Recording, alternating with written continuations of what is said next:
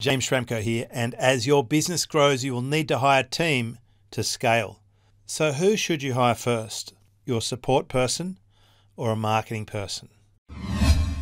In choosing next team member, would I go with a buddy for the support person for redundancy or marketing person?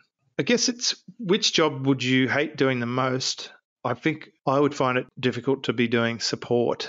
I think support firstly, it's the first thing that I hired when I did start hiring.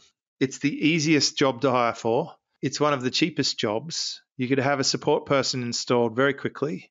And support is the key to capacity fulfillment. Like if you add in more marketing, your support will break and you give a shitty service and you lose customers and it costs you a lot more to do more marketing. So for those reasons, I do like the support option there to get a support buddy.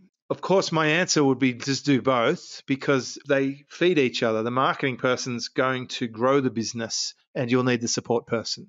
The support person will look after people so well that you'll get referrals and word of mouth, and the business will retain customers. So it will continue to grow as well. So the support person is great for marketing regardless. I think support people are amazing marketers and salespeople when trained well. So if you don't think a support person is a marketing person, then that's the first bridge that I would connect. So, yes, I'd get the support marketing person first, and then I'd very quickly follow with the marketing person if you're intending to grow.